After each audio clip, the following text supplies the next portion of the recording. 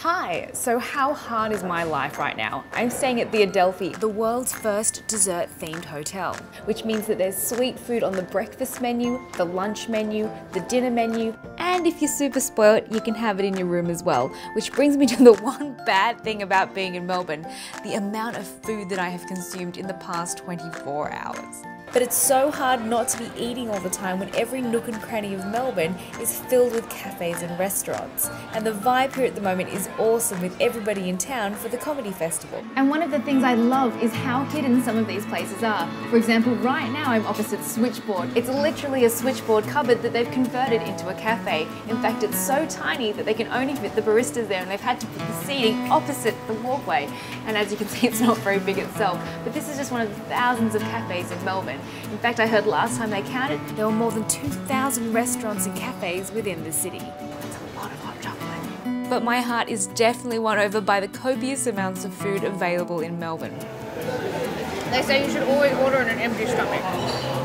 That's what they say, yeah? And I love learning about all the local favourites hidden throughout the city, like Shandong Mama, which has become a smash hit with the locals. Now, Mama, you're a little bit of a legend, uh, and I got told I have to come and visit your restaurant. So tell me, how long have you been around, and why? What makes you so popular? 哦，就是呃，我六九，我女儿在这边十五十五年了。 She used to come here and visit her daughter, and she also wanted to bring the best dumplings, like the traditional dumplings from China, as well as a bit of her touch in there as well. Beautiful, beautiful. And I want to know one more thing. Is this a, a custom-made dumpling for the city? Is that right? 对，就是呃，我和我女儿经常到，就是 She'd never seen parsley before in China. Oh, really? So when she came here, she discovered parsley and she tasted it and made these dumplings just to sort of celebrate. And it seems hideaway hotspots are the way to go because I probably wouldn't have figured out that this little building here is home to restaurants, shops, and a rooftop bar. Only downside to all this cool rooftop activity is that I am not fit enough to get to it. Burgers and fries on a rooftop. Why not? And I'm not gonna lie, whenever I've seen ads for Melbourne, I've always thought this is kind of what it would be like. Now, Melbourne's really into its hidden bars, and I've been told that one of the hottest cocktail bars is around here, but there's no sign on the door, so this will be interesting.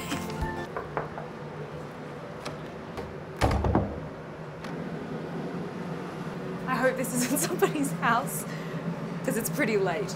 Oh, hello. Hi. Well, thank you. Is this Hihou? Oh, yes, it is. Oh, okay. Sorry. oh, wow. Come in. Thank you. So, after finding the Japanese cocktail bar, I find out that Hihou actually means secret treasure, and the cozy main area holds only about 50 people. So, all in all, a pretty awesome trip for my stomach. And I figure if I eat while I walk, I don't put on any calories. That's how it works, right? If you'd like to watch my Melbourne makeover and watch me trying to learn how to fit into a fashion show, check out the video below.